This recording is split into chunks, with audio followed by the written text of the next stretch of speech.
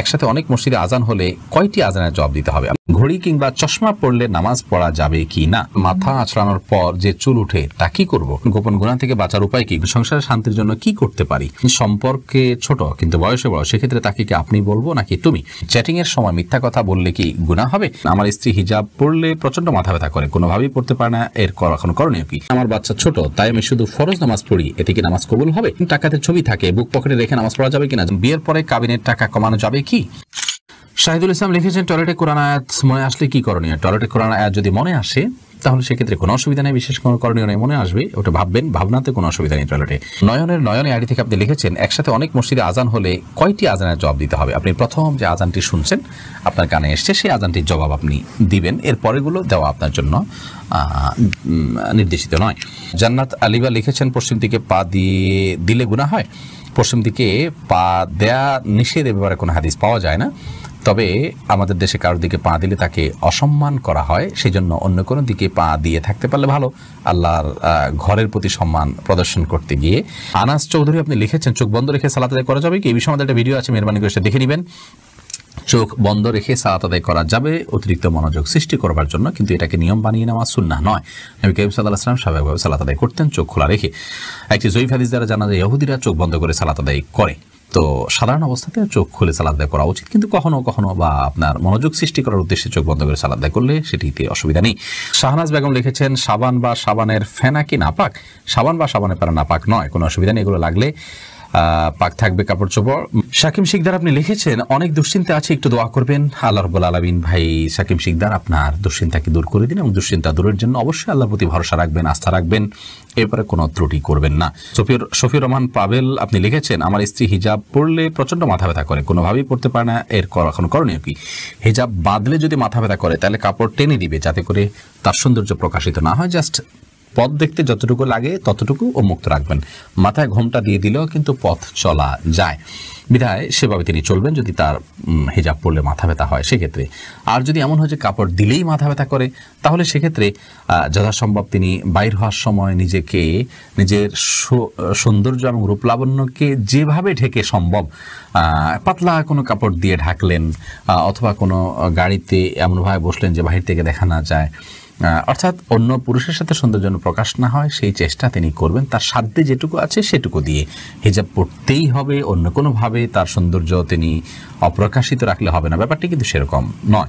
MD Arfat Rahman লিখেছেন, রমজান মাসে মৃত্যুবরণ করলে নাকি কিয়ামত পর্যন্ত কবর মাফ হয়। কতটা কতটুকু সত্য? রমজান মাসে মৃত্যুবরণ করলে কেমন পর্যন্ত করা যায় মাফাই মর্মে কোনো হাদিস আছে বলে আমার মনে পড়ছে না। শুক্রবার সম্পর্কে এরকম হাদিস আছে যে শুক্রবারে মারা গেলে কেমন পর্যন্ত তার কবরের আজাব মাফ হয়। জেবুন্নেসা বেগম লিখেছেন, সালোয়ারের দুপাশ ফাঁড়া, সামনে ফাঁড়া, এরকম সালোয়ারের উপর জামা পরে নামাজ পড়লে আদায় হবে কিনা? যদি সালোয়ারের দুপাশ ফাঁড়া হয় এবং সামনে ফাঁড়া হয়, তাহলে সেক্ষেত্রে তার উপর অন্য কোনো কাপড় না থাকলে মেয়েদের জন্য সেরকম পোশাক পরে সালাদ আদায় করা ঠিক জায়জ হবে না। কারণ হলো, মেয়েদের সালাতের সময় যে শরীরের অংশ ঢাকতে হবে তা হলো মাথা থেকে নিয়ে একেবারে পা পর্যন্ত, শুধু মুখমণ্ডল এবং দুই হাতের কবজি, এই জায়গাগুলো তিনি উন্মুক্ত রাখবেন, পায়ের পাতা উন্মুক্ত রাখবেন। এছাড়া বাকি পুরো শরীর তাকে ঢাকতে হবে। অথবা এমন কোনো পোশাক যদি পরেন যে আপনার শরীরের কোনো অংশ প্রকাশিত হয় সালাতের মধ্যে, তাহলে তার ফলে ওইটি পরে সালাত আদায় করতে পারেন না। হ্যাঁ এমনি স্বাভাবিকভাবে আপনি বাসা বাড়িতে একাকি যখন আছেন বা মারহামদের মধ্যে আছেন, তখন সেটি পড়তে পারেন। হোসাইন, আপনি লিখেছেন, চ্যাটিংয়ের সময় মিথ্যা কথা বললে কি গুণা হবে? যদি মন থেকে না বলি। মিথ্যা সর্বাবস্থায় গুণা মন থেকে না বললেও সেটা গুণা হবে। ফাতেমা পলি, আপনি লিখেছেন, আমার বাচ্চা ছোট, তাই আমি শুধু ফরজ নামাজ পড়ি, এতে কি নামাজ কবুল হবে? অন্য কারও সহায়তা নিয়ে আপনি সুন্নাত নামাজ পড়া উচিত। মাঝে মধ্যে যদি এরকম হয় যে অন্য কেউ না থাকে এবং আপনি অনন্য উপায় হন, ফরজ সালাদ ছাড়া কোনো কিছু পড়ার সুযোগ নাই, বাচ্চা অনেক বেশি দুষ্টমি করে বা কান্নাকাটি করে বা অসহনীয় পর্যায়ে চলে যায়, তাহলে সেক্ষেত্রে করতে পারেন। কিন্তু নিয়মিত এটি করার কোনো সুযোগ নেই। যেহেতু বাচ্চা যখন ঘুমে থাকে তখন আপনি করতে পারেন। বাচ্চাকে ঘুম পাড়িয়ে নিতে পারেন সালাতের সময়। অন্যের সহায়তা নিতে পারেন অথবা হালকা পাতলা কান্নাকাটি থাকলে সেটাকে সহ্য করতে পারেন। অনেকে বাচ্চার প্রতি এত বেশি মায়া করেন যে বেশি মায়া করতে গিয়ে এবাদত বন্দীগীর ক্ষেত্রে অনেক ছাড় তিনি দিয়ে নেন, যেটা উচিত নয়। এরপরে সৈকত খান লিখেছেন, বিয়ের পরে কাবিনের টাকা কমানো যাবে কি? বিয়ের পর যদি স্বামী তার স্ত্রীর সাথে আলাপ মা- মাধ্যমে আপনার মাফ নেন। কমানো তো আর যাবে না, যা ফিক্স হয়ে গেছে তা। স্ত্রী যদি কোনো কিছু মাফ করেন, তাহলে আল্লাহ তালা সে সম্পর্কে বলেছেন, ফাকুলুহু হানি আম্মারি আ তাহলে সেটা তোমরা ভক্ষণ করতে পারো বা ভোগ করতে পারো। স্ত্রী যদি বলেন যে, ঠিক আছে, আমি তোমাকে ছাড় দিলাম। আপনি দিতে পারেন না, সামর্থ্য নাই।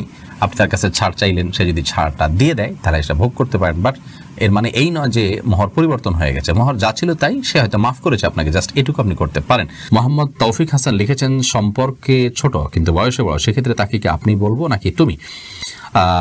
এটিতে আসলে আমাদের সামাজিক কালচারের উপর নির্ভর করে। আমাদের সমাজে সম্পর্কে ছোট হলেও আপনার, ও, সম্পর্ক ছোট হলে বড় হলে সম্পর্কে, আর বয়স যদি ছোট হয়, তারপর তাকে আপনি বলতে হয়, বলার কালচার আছে, এটা সামাজিক এই কালচারটা সামাজিক সৌন্দর্য, এটাকে মেনটেন করাতে কোনো অসুবিধা নেই, বরং করা উচিত। আর সম্পর্কে ছোট কিন্তু বয়সে বড়, যেটা আপনি জানতে চেয়েছেন এরকম যদি হয়, তাহলে বয়সে বড় যেহেতু, সেজন্য তাকে আপনি বলা উচিত। সম্পর্কে ছোট হলে তুমি বলতে হবে, এমন কোনো কথা তো নেই, তাকে আপনি বলা উচিত যেহেতু তিনি বয়সে বড়। তানজিনা বেগম, আপনি লিখেছেন সংসারের শান্তির জন্য কি করতে পারি? সংসারের শান্তির জন্য প্রথমত আল্লাহর বাধ্যতার মধ্য দিয়ে জীবনকে কাটানো উচিত। হারাম কাজ থেকে নিজেকে বাঁচিয়ে রাখা উচিত। এটা শান্তি আসার জন্য প্রধানতম কাজ। দ্বিতীয়ত হলো, কারণ হারামে আরাম আসে না জন্য হারাম থেকে বেঁচে থাকতে হবে। দ্বিতীয়ত হলো, সংসার শান্তি আনার জন্য সবর করতে হবে। ধৈর্য ধারণ করার মানসিকতা আনতে হবে। ছাড় দেওয়ার মতো মানসিকতা আনতে হবে। দুনিয়ায় সব নয়, সেটি মাথায় রাখতে হবে। অতএব দুনিয়াতে বিভিন্ন সমস্যা বিভিন্ন বিপদ বিভিন্ন মুসিবত এগুলোকে আপনার মেনে নেওয়ার মতো মানসিকতা এবং প্রবণতা আমাদের মধ্যে থাকা চাই। আফিফ হাসান শুভ। আপনি লিখেছেন টাকাতে ছবি থাকে বুক পকেটে রেখে নামাজ পড়া যাবে কিনা? যাবে কোনো অসুবিধা নেই কারণ সেটা প্রদর্শিত হচ্ছে না ভেতরে আছি। জিসান রহমান লিখেছেন গোপন গুণা থেকে বাঁচার উপায় কি? গোপন গুণা থেকে বাঁচার উপায় হলো নির্জনতা পরিহার করা। যথাসময় একাকিত্ব বর্জন করে চললে গোপন গুণা থেকে বাঁচার অনেক সহজ হয়। নাজমা আক্তার লিখেছেন মাথা আঁচড়ানোর পর যে চুল উঠে তা কি করব? সেটা সবচেয়ে ভালো হয় যদি কোনো মাটিতে দাফন করেন বা এমন জায়গায় ফেলবেন যাতে মানুষের শরীরের অপমান বা অসম্মান না হয়। ময়লার সাথে না ফেলানো উচিত। যদি ফেলে দেওয়া হয়, ময়লার সাথে তাতে কোনো বড় গুণা হবে ব্যাপারটা সেরকম না। এটা জাস্ট উচিত, অনুচিত, উত্তম, অনুত্তমের কাজ, শিষ্টাচারের বিষয়। হাফিজ মোহাম্মদ আরিফ বিল্লাহ, আপনি লিখেছেন, ঘড়ি কিংবা চশমা পড়লে নামাজ পড়া যাবে কি না? ঘড়ি বা চশমা পড়া অবস্থা নামাজ পড়া যাবে, কোনো অসুবিধা